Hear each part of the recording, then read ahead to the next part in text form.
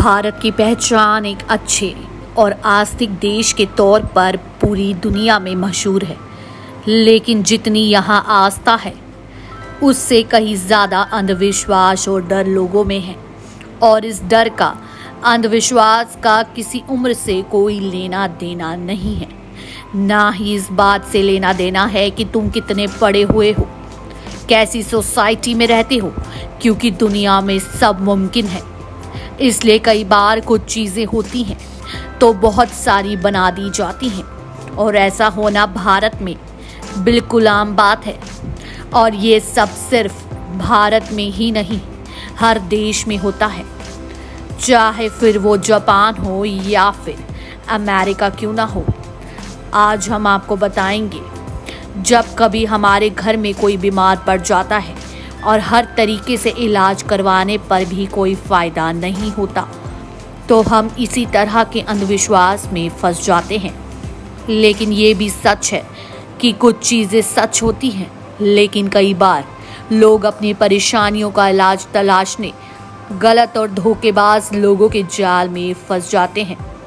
लेकिन कई बार पूरा का पूरा समाज एक झूठे अंधविश्वास का शिकार होता जाता है।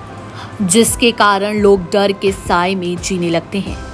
आपको बता दें कि भारत में ऐसा कई बार हुआ है, जैसे कि काले बंदर की अफवाह, रात को रोटी प्याज मांगने वाली चुड़ैल का डर, और अभी हाल ही में का एक गुस्सा, जिसने पूरे देश की औरतों को डर के साय में डाल दिया था। हम बात कर रहे हैं चोटी काटने वाली चुड़ैल की अफवाह के बारे में।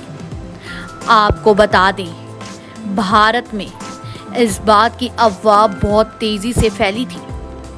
इस किस्से में जिसने पूरे देश की औरतों को डर के साय में डाल दिया, यानी चोटी काटने वाली चुड़ैल की अफवाह। इन अफवाहों का कोई सबूत नहीं मिलता, ना ही कोई गुनहगार पकड़ा जाता। लेकिन एक बात ज़रूर होती है कि वो ये इस तरह की अफवाहें आती है और फिर अचानक गायब हो जाती है। अजीब बात तो ये है कि अब ऐसी अफवाहें उड़ती हैं तो इन अफवाहों के शिकार लोग भी सामने आ जाते हैं। और आज हम आपको ऐसी ही एक अफवाह के बारे में बताने जा रहे हैं, जिसका पूरा का पूरा गाँव आज तक सच मानता है। आपको बता दें, जिस अफवाह के बारे में बताने जा रहे हैं, उसके गवाह ये बताते हैं कि एक बार बेंगलोर में एक गाँव में एक रात को लोगों की अनजान तरीके से मौत होने लगी। और अजीब बात ये थी कि लोगों की मौत रात को घर की चौखट पर होती थी। कुछ दिन बाद उस गाँव में ऐसी वारदातें बढ़ने लगी और इसी के साथ बढ़ने लगी नल्लेबाज चुड़ैल की अफवाह। लोगों का मानना था कि एक चुड़ैल रात को साढ़े बारह बजे के करीब दरवाज़ा खोलने को कहेगी। और तुम्हारे किसी परिजन की आवाज़ निकलेगी ताकि लोग दरवाज़ा जल्दी खोलें। और परिजन भी ऐसा जो घर से बाहर हो। लोगों की बढ़ती मौत को देखते हुए उनको किसी ने एक उपाय बताया। उपाय ये था कि सब लोग अपने दरवाजे पर नल्लेबाल लिख ले, जिसका मतलब होता है, कल आना। और वो चुड़ैल करती भी यही थी।